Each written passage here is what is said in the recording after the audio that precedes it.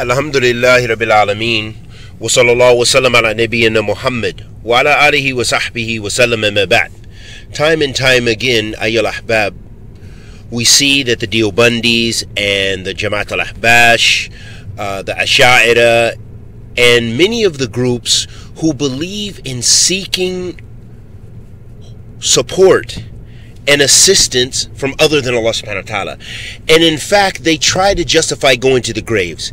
Now, any thinking Muslim should listen and pay careful attention to their arguments and then try to determine and distinguish what is the difference between their arguments and the arguments of the Catholics who make repentance to their priest and who believe in a type of sanctity and sacredness and divinity of the saints.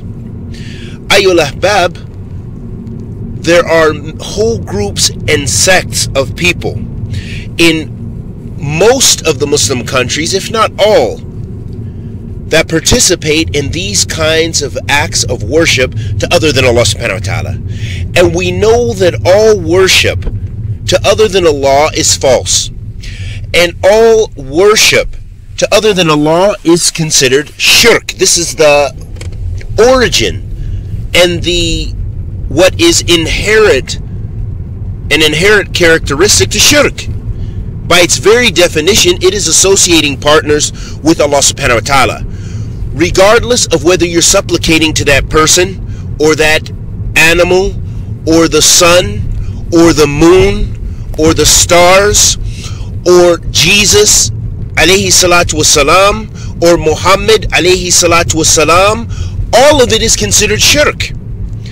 Or if you seek intercession from the saints or from the graves, or you offer fruit and vegetables or meat that you have sacrificed to those graves, it is still considered shirk to Allah Azza wa Jal. And this was the same thing that the mushrikeen of Quraysh, they did this. So Ayal Ahbab, run from those sects. And I'm telling you, with all earnest, earnest, run from Jamaat al-Ahbash as if you're running from the plague itself. As, as if you heard that a plague had befallen a village, do not enter that village. And likewise, do not enter into the sect of Jamaat al-Ahbash. And likewise, run from the Deobandis because they negate many of the sifat of Allah Azza wa Jal. They change the meaning. And likewise, Ya Ikhwani Fillah, run from the Asha'ira because their arguments are all the same. And they have different levels of bid'ah. Some of them have bid'ah mukaffara, meaning the bid'ah that takes you out of the fold of Islam. And that depends upon the individual's belief. If they believe going to the graves is permissible to supplicate to them and that those people in the grave can answer their dua, then this is shirk that takes you out of the fold of Islam. This is kufr al-akbar. And if they believe that what they're doing for example, they're making uh, tawaf around the graves and they're using it because they believe that this is going to bring them closer to Allah, not believing that the person in the grave uh, should be worshipped or the person in the grave can help them necessarily, but for whatever ta'wil that they have, they're making tawaf around the grave. So perhaps in this situation, this might be a form, this is, is, is a form of bid'ah. And there are many different scenarios in which the people fall into.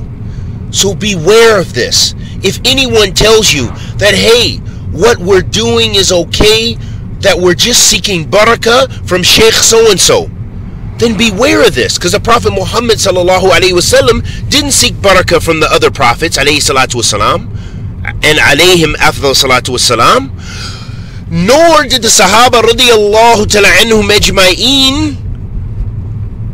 make that as a practice to seek barakah from one another, but barakah from the Prophet والسلام, especially during his lifetime, was permissible. Ayul Ahbab, this is incredibly, incredibly sinister as a creed because it sneaks into the ummah of Muhammad sallallahu alaihi wasallam. This is why the Prophet alayhi salatu wasalam said, "Let tattabi'una sunan min kana qablakum." The Prophet wasalam said, "You would follow the sunnah or the way of those nations that came before you." And when he was asked who they were, they said, uh, they they said, "Ya Rasulullah, al Yahud wa Nasara." Qala faman. The Prophet ﷺ was asked, Who are they?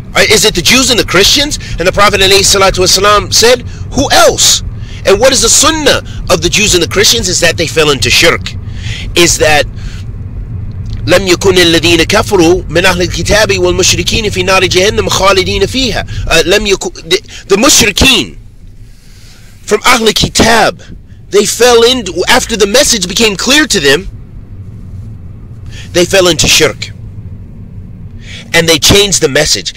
And the odd phenomenon is that all these nations went astray after the message became clear. So before the message, when the message was being revealed, or uh, and so forth, they they didn't go astray until after it was made clear to them. After their prophets, alayhim as-salatu were sent, then they went astray. That's when they began to commit shirk. After they had a messenger that had a clear message that explained the message of Tawheed to them.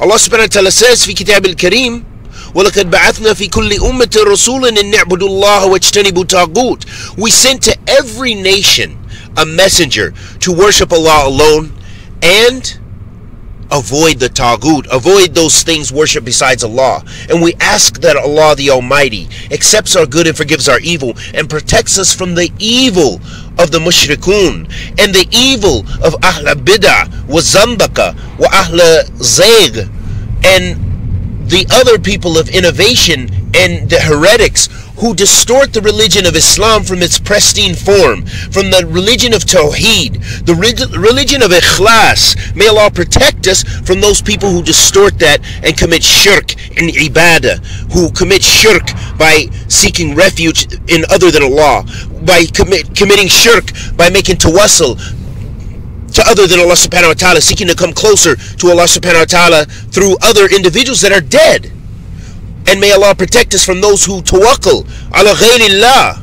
And other than that, wa sallallahu wa sallam ala nabiyyina Muhammad wa ala alihi wa sahbihi wa sallam.